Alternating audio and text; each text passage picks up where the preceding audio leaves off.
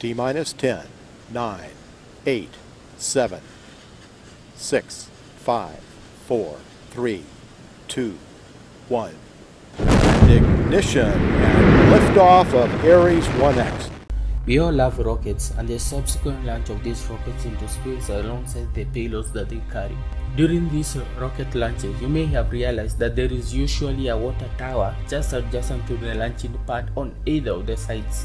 These pictures clearly show the presence of these water towers just adjacent to the launching pad. Many may ask what is the purpose of this water tower? Is it a water reservoir to serve the fire engine department where a fire breaks out during rocket launches? The clear answer to this is a no. The water tower is not there to serve the purpose of the fire engine department put out fires when rocket launches fail. The water tower is a sound dampening system.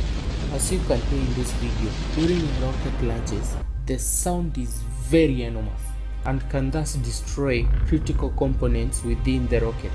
This is where the water tower comes in. Short moments before ignition is done, the valves of the water tower let open, thus pouring large amounts of water onto the launching pad. This water disintegrates upon impact to the ground into small droplets, which are very crucial in absorbing the sound energy of the rocket gases that leave the rocket rear at very high velocities.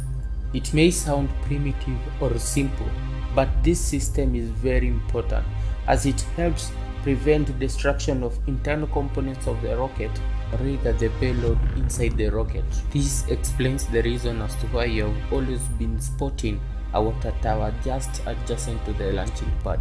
It's very very important. The water from the tower is used to prevent destruction of the payload which includes satellites that we use in communication or any other electronic components within the rocket.